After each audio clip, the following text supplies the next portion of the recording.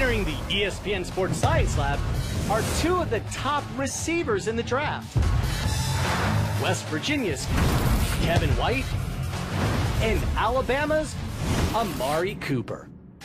At 6'3", with a 38 and a half inch max vert, White has a catchable range about 8.5% larger than Cooper's.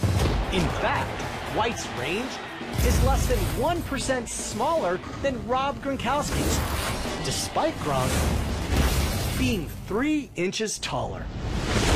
While White is a slightly bigger target, in our lab, Cooper was slightly faster. White was credited with a faster 40 at the NFL Combine, but those numbers are calculated using hand-timed starts. In our testing, we use an infrared timing system to start and stop the clock. Although White is quicker for the first 10 yards, Cooper hits a top speed more than half a mile per hour faster and winds up with the best time of any receiver we tested in this draft. While they're different types of receivers, both showed off their playmaking ability in a test we call the Yak Attack. As they cut, the first heavy bag barrels in at 10 miles per hour. Making the catch, White turns on a dime, hitting a peak angular velocity of 452 degrees per second.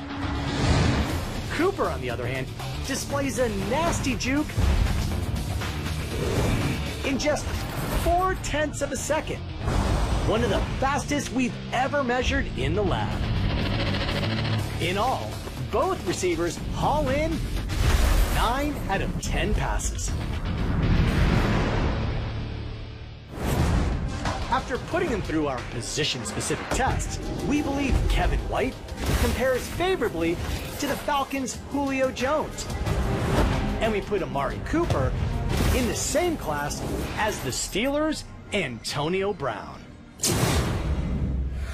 When you add White and Cooper's stats from last season together, they racked up more receiving yards and receiving touchdowns than 62% of the teams in the FBS.